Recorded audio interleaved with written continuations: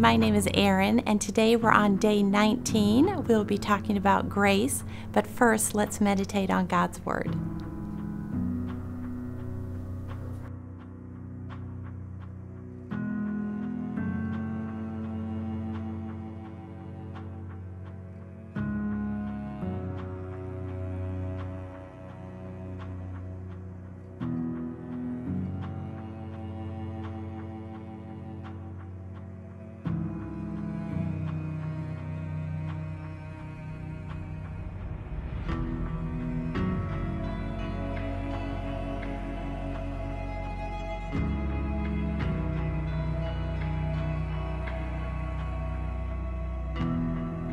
What is so amazing about grace, this grace that John Newton was so passionate about when he wrote those famous lyrics to Amazing Grace back in 1779 that we're still singing in churches across the world today?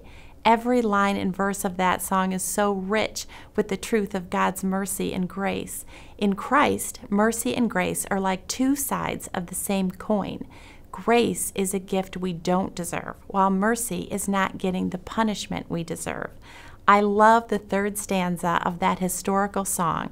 My chains are gone, I've been set free. My God, my Savior, has ransomed me, and like a flood, His mercy reigns, unending love, amazing grace. My chains and your chains are gone because of the grace of God, we have been set free. I find myself struggling to comprehend this truth. It becomes easier for me to grasp God's abundant grace when I allow myself to comprehend the true depth of my need. Even on my best day, I'm a wretched sinner standing before a holy and righteous God. To abound in sin is by far the worst you and I could ever do. The word abound defines the limit of our restricted abilities. And although we feel like our sins rise over us like the highest tidal wave, nevertheless, it has definable boundaries. We must remember that the grace of God is infinite and eternal. It has no beginning, so it can have no end. Grace is a boundless attribute of God. I've been set free. A wonderful description of the amazing grace of God is to be found in Romans 11:6. And if by grace, then it cannot be based on works. If it were grace, would no longer be grace. You see, grace can't be bought or earned.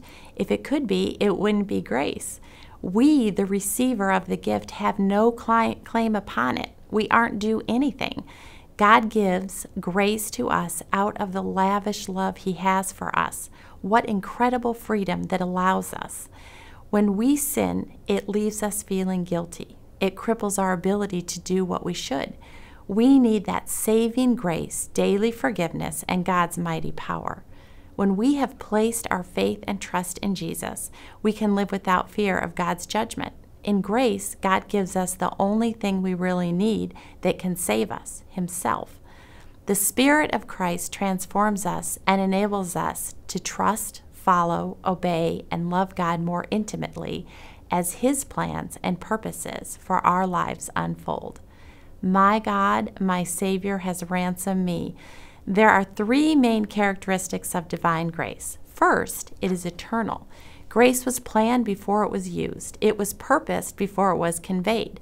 2 Timothy 1 9, who hath saved us and called us with a holy calling, not according to our works, but according to his own purpose and grace, which was given us in Christ Jesus before the world began. Second, it is free, for none of us purchased it. Those in Christ are being justified freely by the grace of God. Third, it is sovereign. God bestows it upon whom he pleases. Nowhere does the glory of God's free and sovereign grace shine brighter than in the unworthiness, unlikeliness of us, the common sinner. And like a flood, his mercy reigns.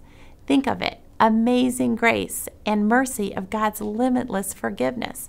It is like a flood that washes over me and you daily. How thankful I am for that cleansing that makes me stand clean and pure before a holy, perfect God. It's so difficult to wrap my mind around the truth that my sins, All of my sins, past, present, and future, have been totally covered by God's sacrifice He made on the cross. His shed blood covers it all. We can stand in confidence without fear because in Jesus Christ we have been received and accepted. Unending love, amazing grace. What kind of unending love announces that unless we are saved by grace, we cannot be saved at all? Apart from Christ and the unspeakable gift of God's grace, we would be left in a guilty and hopeless state.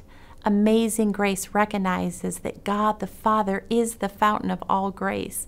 He purposed it in Himself, the everlasting covenant of redemption. God the Son is the only avenue to grace. We are never alone in our struggle. God never grows discouraged or tired. He never leaves us alone in our ability to conquer temptations of this fallen world. Our gracious Father is determined for us to experience all He has for us because of the unending sacrifice He made and continues to make for us every day. There is nothing that was or will be as amazing as His grace. I believe understanding the grace of God offered through Jesus is a lifelong journey which we will never fully comprehend this side of heaven. I do, however, understand where that journey begins. It's by placing your faith and trust in Jesus Christ. I realized my need for a Savior when I was in fourth grade. It was here at this church that my Sunday school teacher shared God's amazing love and grace for me that compelled me to go home that night and pour my little 10 year old heart, asking God to forgive me for my sins and recognizing I desperately needed Him. God met me that night and has never once let go of me. He continues to strengthen me with His presence as I seek Him out. One of the greatest joys I've ever experienced is when God invites me into a prayer time when someone recognizes their need for Christ. With tearful eyes, they share how they desperately need Him and want to follow Him. There's nothing like that joy I feel when someone makes that commitment to trust Jesus. I understand the joy I'm feeling is because I know that person will never be the same, and I'm so excited to see all God has for them as they deepen their dependence and relationship with Him.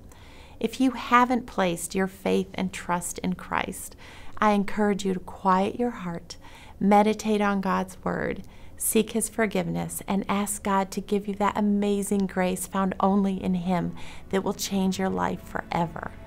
I'd like to close today with a portion of a prayer out of the book titled The Valley of the Vision.